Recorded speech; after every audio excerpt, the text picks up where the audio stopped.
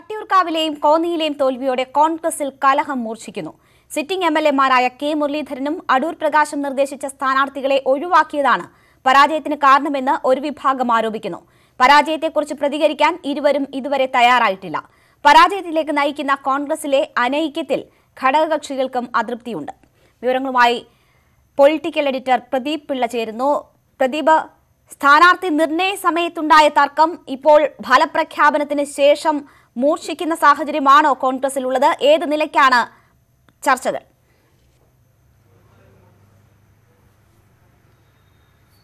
തീർച്ചയായിട്ടും ഇത് ഏതുവരെ പോകും എങ്ങനെ അവസാനിക്കും എന്ന് നമുക്ക് പറയാറായിട്ടില്ല. പക്ഷേ ഓർക്കേണ്ടത് ഒന്നുണ്ട്. ഇതുവരെ വന്ന പ്രഖ്യാപനങ്ങൾ അല്ലെങ്കിൽ പ്രസ്താവനകൾ ശ്രദ്ധിക്കണം.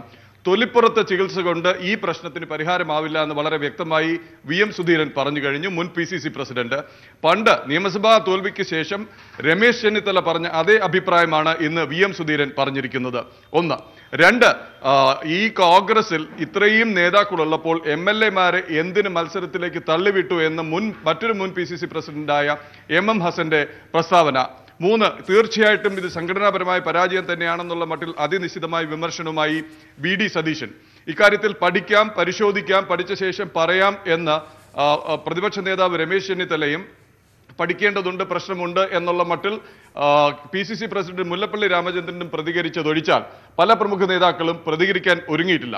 രേണുക ചൂണ്ടിക്കാട്ടിയതുപോലെ തന്നെ സ്ഥാനാർത്ഥി നിർണയ കാലത്ത് കേട്ടിരുന്നത് എന്തെന്ന് വെച്ചാൽ പുറത്തേക്ക് പോകുന്ന ഔട്ട് ഗോയിങ് എം എൽ എമാരായ കെ മുരളീധരനും അടൂ പ്രകാശും ഹൈബി ഈഡനും പറയുന്ന സ്ഥാനാർത്ഥികൾക്ക് അല്ലെങ്കിൽ അവരുടെ അഭിപ്രായത്തിന് മുൻതൂക്കം നൽകും എന്നൊരു സൂചനയുണ്ടായിരുന്നു.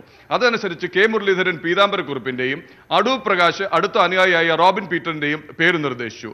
എന്നാൽ തുടർന്ന് നടന്ന ചർച്ചകളിലും പലതരത്തിലുള്ള സമ്മർദ്ദങ്ങളുടെയും ഫലമായി രണ്ട് രണ്ടു പേർക്കും സ്ഥാനാർത്ഥിത്വം നിഷേധിക്കപ്പെട്ടു. വട്ടിയൂർക്കാവിൽ കെ. മോഹൻകുമാറും കോന്നിയിലാണെങ്കിൽ അവിടുത്തെ പി. മോഹൻരാജും സ്ഥാനാർത്ഥികളായി. ഇത് ബാധിച്ചോ വിജയത്തെ ഒരു ചർച്ച പ്രവർത്തകർക്കിടയിൽ സജീവമാണ്. രണ്ട് ഇത്തരം തങ്ങളുടെ അഭിപ്രായം അവഗണിച്ച് മറ്റു സ്ഥാനാർത്ഥികളെ. അവതരിപ്പിച്ച ശേഷം പ്രദീപ് ദയവായി തുടരുക ഇപ്പോൾ കെ- കെ. മുരളീധരൻ മാധ്യമങ്ങളെ കാണുകയാണ്. അതിന്റെ ശബ്ദ സംരക്ഷണം കേൾക്കാം. സ്ഥാനാർത്ഥിക്ക് ഇൻഫർമേഷൻ കിട്ടാതിരുന്നുകൊണ്ടാകാം അദ്ദേഹം നിഷേധിച്ചപ്പോൾ ഞങ്ങൾ പറയുന്നത് അത്ര ജനം ഒരുപക്ഷെ വിശ്വാസത്തിലെടുത്ത് കാണില്ല. പക്ഷെ ഇലക്ഷൻ റിസൾട്ട് വന്നപ്പോൾ ആ കാര്യം വളരെ വ്യക്തമായി. ഇവിടെ തന്നെ ഒരു കാര്യം ആലോചിച്ചാൽ മനസ്സിലാക്കാം. കുമ്മനൻ രാജശേഖരൻ മാറി സുരേഷ് വന്നതോടുകൂടെ ബി ജെ പി ഫീൽഡിൽ നിന്ന് പോയി. പിന്നെ ഇവർ പറയുന്ന പോലെ ജാതി മത സമവാക്യങ്ങളൊക്കെ മാറി എന്ന് പറഞ്ഞു. മന്ത്രി കടകംപള്ളി സുരേന്ദ്രന്റെ നേതൃത്വത്തിൽ. ഏതാണ്ട് പച്ചയായി തന്നെ ജാതി പറഞ്ഞാണ് പല ഇഴവ കുടുംബങ്ങളിലും ചെന്ന്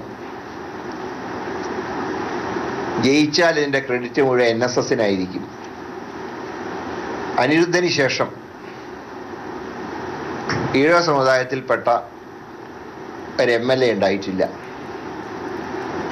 അതുകൊണ്ട് ഈ സുവർണാവസരം വിനിയോഗിക്കണമെന്ന് ഒരു സംഘം തന്നെ ഈ വീടുകളിൽ കയറി പറഞ്ഞു.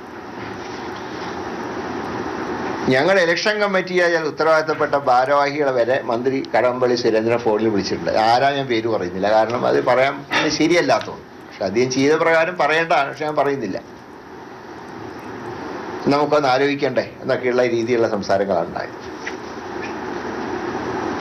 അപ്പൊ വ്യക്തമായിട്ടുള്ള ഒരു വോട്ട് മറക്കൽ ഉണ്ടാവാൻ കാരണം എൻ എസ് എസ് അല്ല ഞങ്ങളാണ് ഇവിടുത്തെ ഡിസൈഡിങ് ഫാക്ടർ എന്ന് തെളിയിക്കാൻ ആർ എസ് എസ്സുകാർ സംഘടിതമായിട്ട് വോട്ട് മറിച്ചു. അതിപ്പോൾ റിസൾട്ട് വന്നപ്പോൾ ഇപ്പൊ പലരും അംഗീകരിക്കാൻ തുടങ്ങി. ആ യാഥാർത്ഥ്യം. ഇവിടെ എൻ എസ് എസ് പറഞ്ഞൊരു കാര്യമുണ്ട്. അവരെന്തുകൊണ്ട് യു ഡി എഫിനെ പിന്തുണച്ചു എന്ന് ചോദിച്ചാൽ വിശ്വാസ സംരക്ഷണത്തിന്റെ കാര്യത്തിൽ ഒരു സ്റ്റാൻഡ് എടുത്ത യു ഡി എഫ് ആണ് ഇടതുപക്ഷം വിശ്വാസികൾക്കെതിരായിരുന്നു. ബി ജെ പിയുടെ കവട വിശ്വാസമായിരുന്നു. അതുകൊണ്ട് തന്നെ വ്യക്തമായ സ്റ്റാൻഡ് എടുത്ത യു ഡി എഫിന്റെ നിലപാടിനോടാണ് ഞങ്ങൾക്ക് യോജിപ്പെന്നാണ് എൻ എസ് എസ് പറഞ്ഞത്. ഇവിടെ ഒരു കാര്യം മനസ്സിലാക്കേണ്ടത്. ഒരു ഹൈന്ദവ സംഘടനയിൽപ്പെട്ട എൻ എസ് എസ് ഹിന്ദു വർഗീയതയ്ക്കെതിരായി ഒരു ശക്തമായിട്ടുള്ള നിലപാട് സ്വീകരിച്ചത്. ഇപ്പൊ പലരും കണ്ടില്ല എന്ന് നടിക്കുക അപ്പൊ ആർ എസ് എസിന് പ്രകോപനം ഉണ്ടാക്കിയത് എൻ എസ് എസ് എടുത്ത ഒരു ശക്തമായിട്ടുള്ള മതേതര നിലപാടാണ്. എന്നാൽ ദൗർഭാഗ്യം എന്ന് പറയട്ടെ പുരോഗമനം പ്രസംഗിക്കുന്ന ഇടതുപക്ഷം എൻ എസ് എസിനെ തള്ളി ആർ എസ് എസിനെ ഉൾക്കൊണ്ടതിന്റെ ഒരു താൽക്കാലിക വിജയമാണ് വട്ടിയൂർകാവിലുണ്ടായിട്ടുള്ളത്. പക്ഷെ അതേ സമയത്ത് യു ഡി എഫിനെ തുണച്ചിരുന്ന പരമ്പരാഗതമായിട്ടുള്ള വോട്ടർമാരിൽ ഒരു മനംമാറ്റം ഉണ്ടായിട്ടുണ്ട്. അത് ഞങ്ങൾ വ്യക്തമായി പരിശോധിച്ച് അതിന് ഭാവിയിൽ പരിഹാരം ഉണ്ടാക്കുന്നതാണ് പരാജയം പരാജയം തന്നെയാണ്.